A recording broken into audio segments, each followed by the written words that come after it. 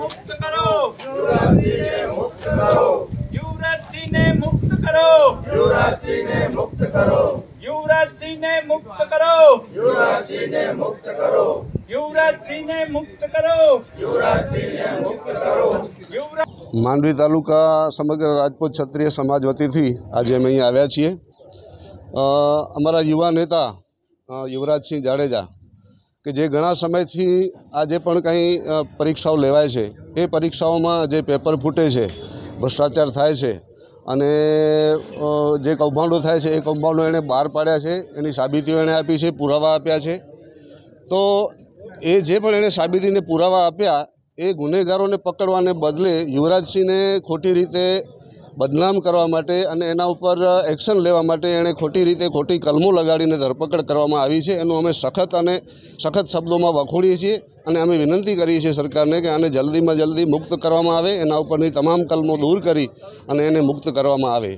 હકીકતમાં તો સરકારને મદદરૂપ થઈ રહ્યા છે. યુવરાજસિંહ છે, એ સરકારને મદદરૂપ થાય છે. આ સરકારની ફરજ છે કે જે પેપરો ફૂટે છે, એ કઈ રીતે ફૂટે છે, કોના માધ્યમથી ફૂટે છે, એમાં કોણ કોણ છે, એને સરકારે પકડવા જોઈએ. એના બદલે જે પકડનાર છે, જે સરકારને મદદરૂપ થનાર છે, એને જ પકડવામાં આવ્યા છે, એ બિલકુલ અયોગ્ય બાબત છે.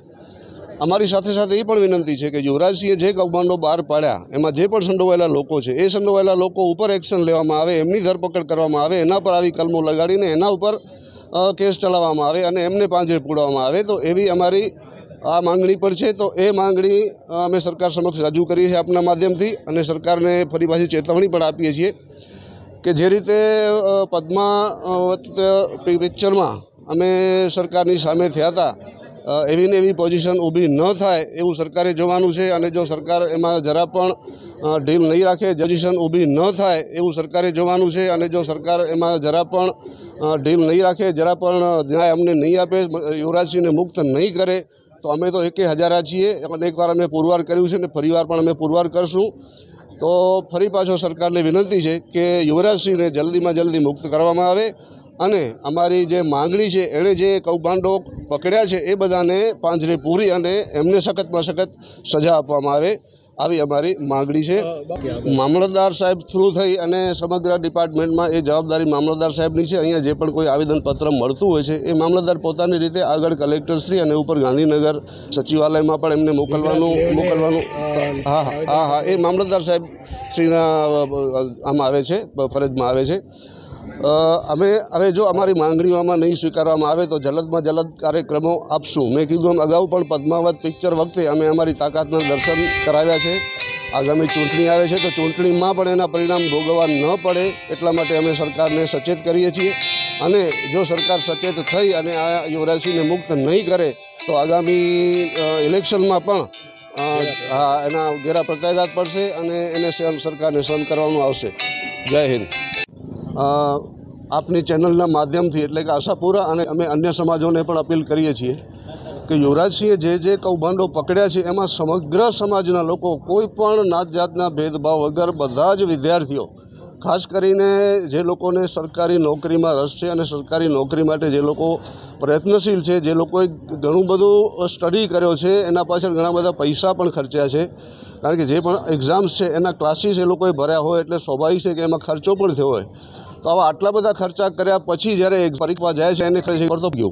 એણે મેં કરી, એના મહેનત પાડ્યું છે, એટલે અમે તમામ સમાજ, તમામ વિદ્યા આલમને આથી અમે રાજપૂત સમાજ વતી સમાજ અમે કરી છે કે તમે પણ અમારી આ મુહિમ છે, મુહિમમાં જોડા અને આ યુવતીને જો સર્વોપક કરે તો પણ અમારે જોડાય અને આ જે ઘટી ઘટનાનો આપણે વિરોધ અને સારામાં પરિણામે. કારણ કે પેપર ફૂટ થોડું જ થોડો છે અને થોડા લોકો એ પૈસા મેળવીને પેપરે છે.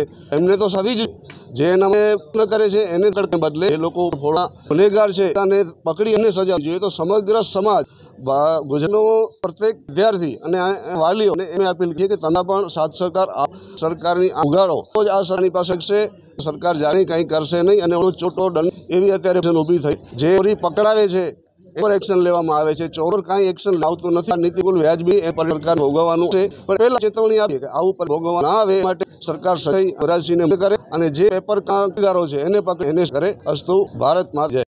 આજે અમે માંડવી તાલુકા મધ્યે છત્રી સમાજ આખા તાલુકાના ભેગા થઈ અને મામલતદાર સાહેબને શ્રી અમે કલેક્ટર અને કલેક્ટરને પણ અહીંયાથી અ, અ, લાવી છે નકલ એક મામલતદારને આપી છે. એટલે આવેદનપત્ર આજે અમે આ કાર્યક્રમ કર્યો છે. આવેદનપત્રનો જે અમારા યુવરાજસિંહ આજે જવાન આજે સરકાર સામું અને ભ્રષ્ટાચાર ભ્રષ્ટાચાર જે છે, એમની સામું લડી રહ્યો છે, એની સામે જે એના સામે અન્યાય થયો છે, જે ત્રણસો સાત ત્રણસો સાત શું ભાઈ? એને શું એટલો ગુનો કર્યો છે? કોઈને મારી નાખ્યો છે? કોઈને માર્યો એન્જેટ કર્યો છે? તો એને ત્રણસો સાત, ત્રણસો ત્રણસો એકત્રીસ બધી કંઈ કલમ લગાડી છે, એ ગેરવાજબી છે. તો એને જલ્દીમાં જલ્દી મુક્ત કરે, એ અમારી લાગણી અને માગણી છે. અને જો આ, આનો આટલે નહીં પતે, તો અમારી તૈયારી પણ છે કે ગુજરાત બંધનું પણ અમે ટૂંક સમયમાં આખો સમાજ, અમારો ગુજરાત સમાજ પણ આમાં જોડાશે અને ગુજરાત પણ એલાન કરતાં અમે ખચકાશું નહીં, એ અમારી તૈયારી પણ છે.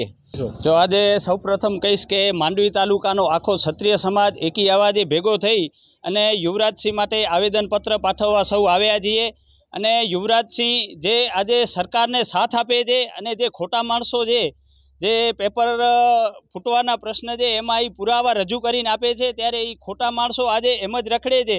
અને આ સાચો વ્યક્તિ લડત ચલાવતો હોય, એના ઉપર જો પોલીસવાળા આપણે વિડીયોમાં પણ જોઈ શકીએ છીએ કે એની ગાડીની નીચે આવીને સૂઈ જાય, પછી ત્રણસો સાત લગાવે, ત્રણસો બત્રીસ લગાવે, તો આ કલમો જો તાત્કાલિક દૂર કરવામાં નહીં આવે, તો જે પદ્માવતી વખતે આ સરકારે પરચો જોયો છે, એવો જ પરચો એનાથી વિશેષ પરચો બતાવવામાં આવશે. અને એક બાજુ શિક્ષણ મંત્રી જીતુભાઈ એમ કહેતા હોય કે આ યુવરાજસિંહ કોણ? તો એમણે આ ટ્વિટર અને મીડિયમના માધ્યમથી બે દિવસમાં પર ખબર પડી છે, યુવરાજસિંહ. એ યુવરાજસિંહ એક ક્ષત્રિય સમાજનો એક માત્ર શેર છે અને એવા હજારો શેર આજે ભેગા થયા છે. અને જો એને ખબર પડે કે આ ક્ષત્રિય સમાજ શું છે, અને અમે એમ કહીએ છીએ કે જો આગામી વિધાનસભા ચૂંટણીમાં પણ આ જીતુભાઈને ખબર પડશે કે યુવરાજસિંહ કોણ છે, અને એમને ઘર ભેગો થવાનો વારો આવશે.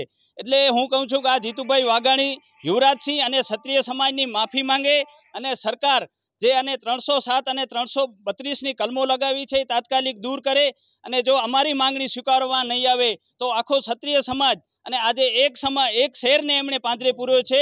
હજારો શેર જે રસ્તા ઉપર ઉતરશે તો સરકારને સાચવવા પણ મોંઘા થઈ પડશે એવી અમે આપના આ માધ્યમથી વિનંતી કરીએ છીએ સરકારને કે અમને છંછેડવામાં ના આવે. જો છંછેડવામાં આવશે તો આના માઠા પરિણામ આગામી વિધાનસભાની ચૂંટણીમાં પણ ભોગવવા